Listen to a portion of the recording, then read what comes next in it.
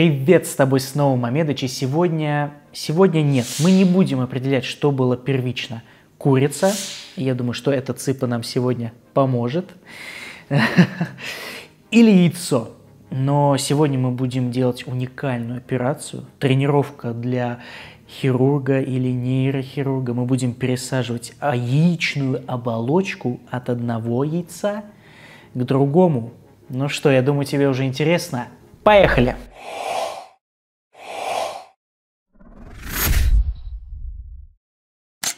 Итак, сегодня со мной мои верные помощники, мои любимые бинокуляры, набор микрохирургических и не очень инструментов, ниточка 7 налей, два яйца э, и это называется дремель, я вспоминал, как это называется.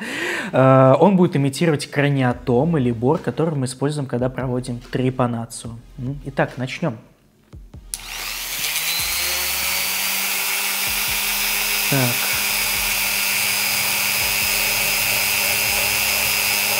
Делаем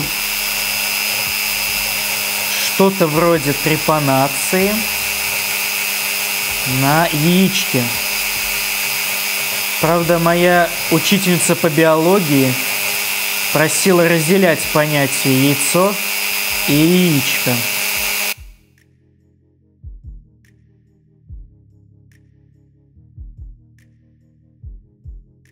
Итак, тут в действительности как при настоящей трепанации. Оп, опасно. А, когда мы делаем трепанацию, удаляем часть черепа, мы встречаем твердую мозговую оболочку. Также и тут мы встречаем оболочку яйца.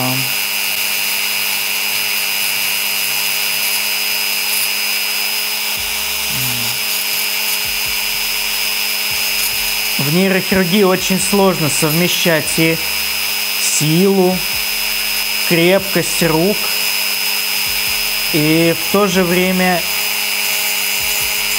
интимную работу с тканями.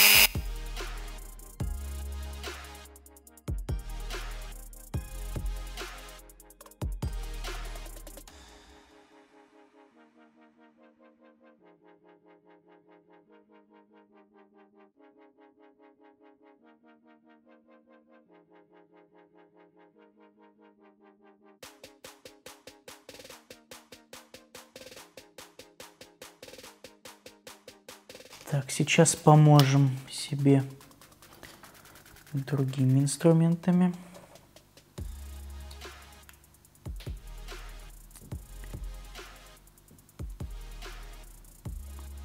Очень легко в данном случае поранить оболочку. Не хочется мне этого сделать.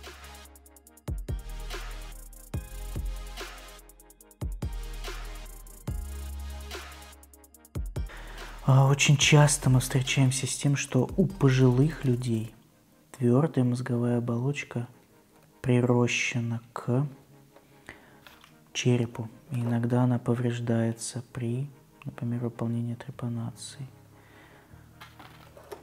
Ну, почему мы здесь тренируемся? Потому что э, в реальной жизни мы довольно-таки часто встречаемся с тем, что нужно удалить часть твердой мозговой оболочкой, оболочки, например, когда она прощена опухолью, менингиомой, или э, просто сделать пластику твердой мозговой оболочки, когда это нужно, например, при декомпрессивной трепанации черепа. Так, ну что, я думаю, не стоит нам больше делать выкрутасов оставить это яйцо в покое.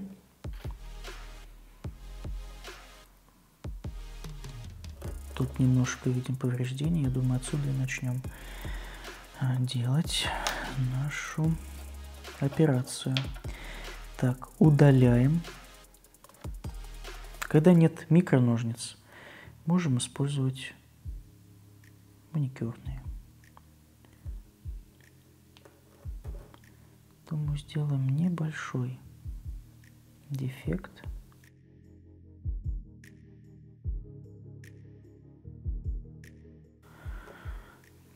Такой дефект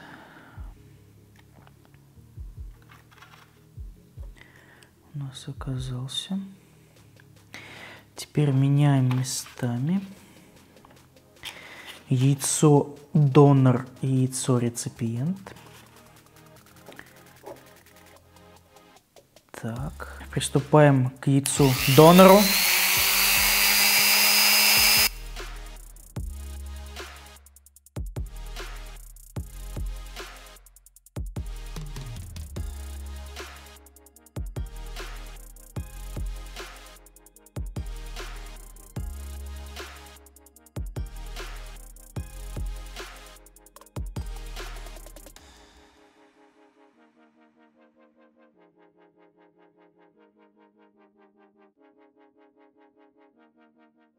Теперь а, немножко доделываем работу.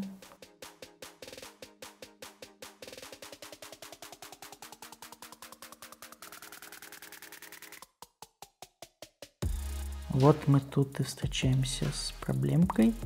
Чуть-чуть повредили. Повредили мы оболочку. Не думаю, что это фатально.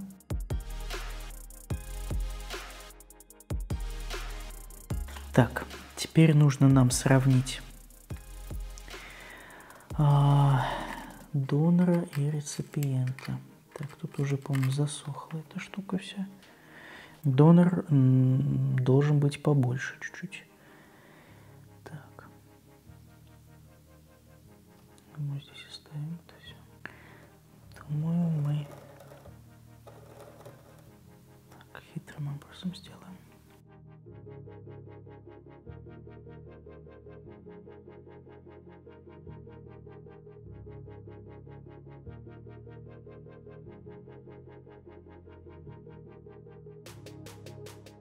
Ответственный момент, потому что от этого зависит судьба всей операции.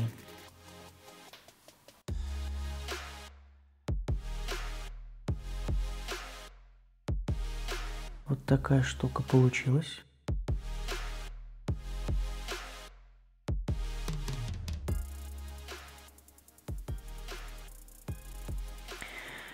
Теперь снова меняем местами. Убираем донора.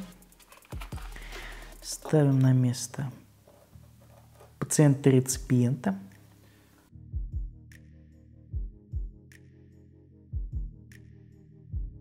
Берем иголочку с ниточкой 7 налей.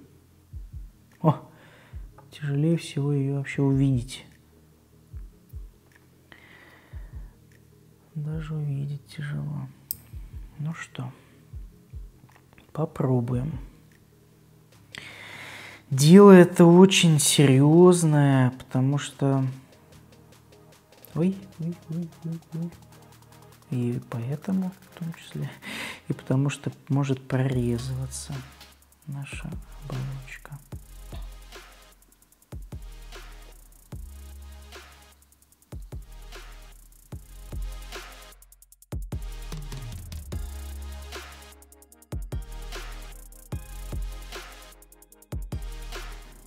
Ну, шьем мы, как всегда, по правилам СПП, симметрично, перпендикулярно, параллельно. Ну, тут мы накладываем узловые швы, потому что чаще всего при микрохирургии они удобнее.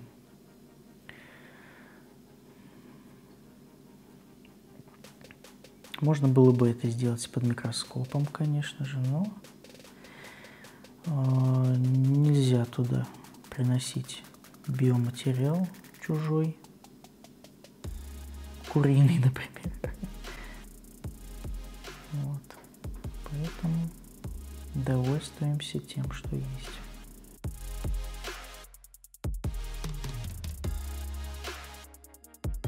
Здесь не помешал бы ассистент, но придется справляться одному.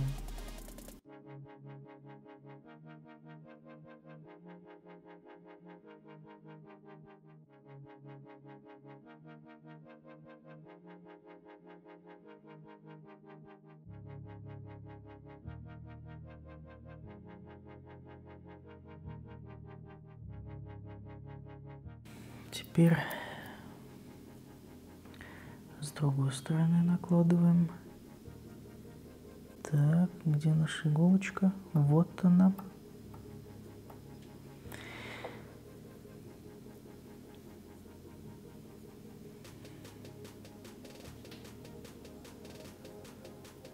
Делаем прокол сначала здесь, потом уже вот побольше я отступаю, чтобы была меньше вероятность прокола.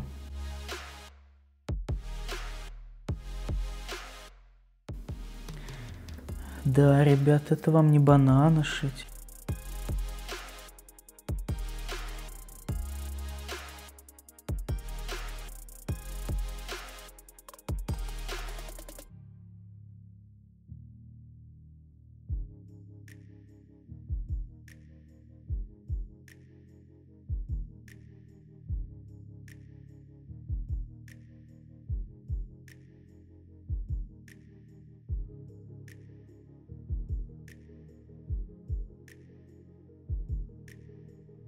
Ручки дрожат. Меня часто спрашивают, будущие хирурги или будущие врачи, смогут ли они стать хирургами, если у них есть тремор. Если у вас нет тремора, это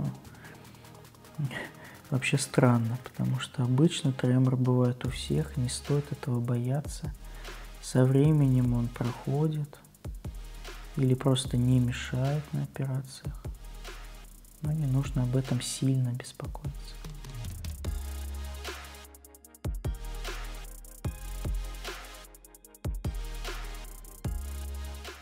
Избавляемся нужного.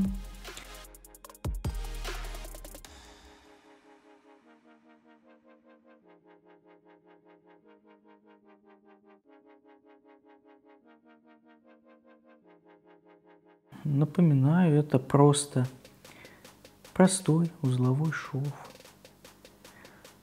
В микрохирургии очень распространена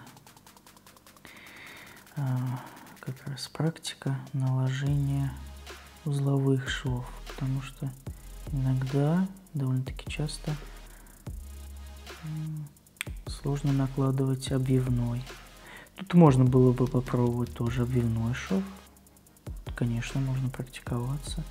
Но тут очень высокая вероятность разрыва оболочки, поэтому думаю, что здесь именно такой шов уместен.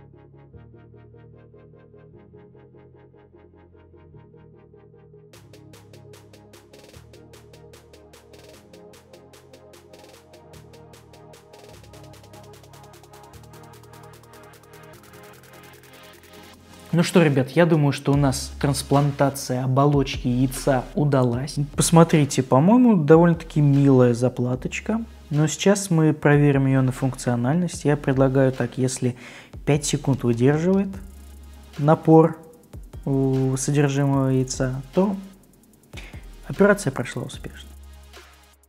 Ну что, пробуем. Так.